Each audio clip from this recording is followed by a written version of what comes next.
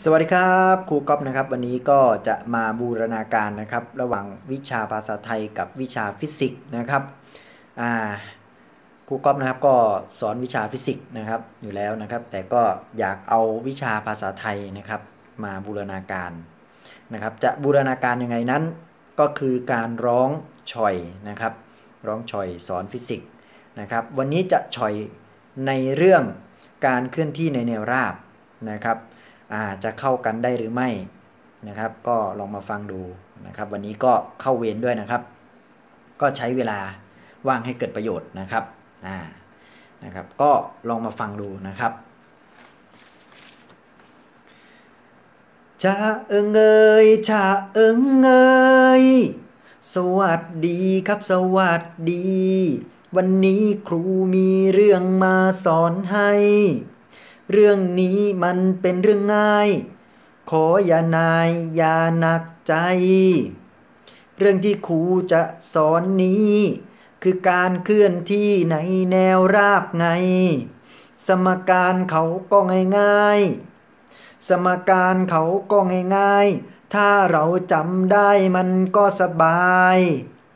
สิ่งแรกที่ควรจำคือตัวแปรนั้นมีห้าตัวไง ตัวที่หนึ่งคือตัว s ระยะทางคือความหมายไง ตัวที่สองคือตัว v ความหมายมีคือความเร็วปลาย ตัวที่สามคือตัว u ขอให้รู้ความเร็วต้นจำไว้จำไว้ ตัวที่สี่คือตัว t เวลานี้คือความหมายไง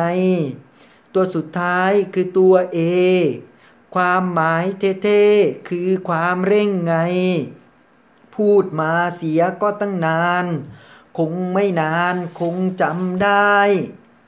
ให้ฝึกท่องกันเอาไว้ ให้ฝึกท่องกันเอาไว้ ถ้าเราฝึกบ่อยมันก็จำได้ ดังนั้นอย่ารอช้า รีบท่องมาเสียให้ไว การท่อง มันเป็นเพลง จงรีบเร่งเสียให้ไวS เท่ากับ U T บวกหนึ่งส่วนสอง A T กำลังสอง V กำลังสองเท่ากับ U กำลังสองบวกสอง A S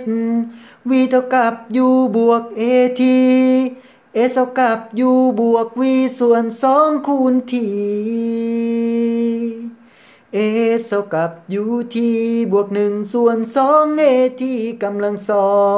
งวีกำลังสองเท่ากับยูกำลังสองบวกสองเอสวีเท่ากับยูบวกเอทีเอสเท่ากับยูบวกวีส่วนสองคูณทีเห็นไหมครับมันเข้ากันได้ เห็นไหมครับ มันเข้ากันได้